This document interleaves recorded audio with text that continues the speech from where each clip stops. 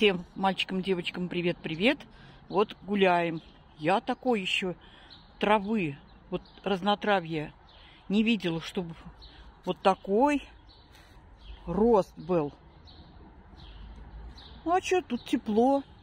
Сейчас дожди прошли, влажность. Только не знаю, вот это что-то такое цветет валерьянка, что ли. Но если бы валерьянка, тут бы коты паслись.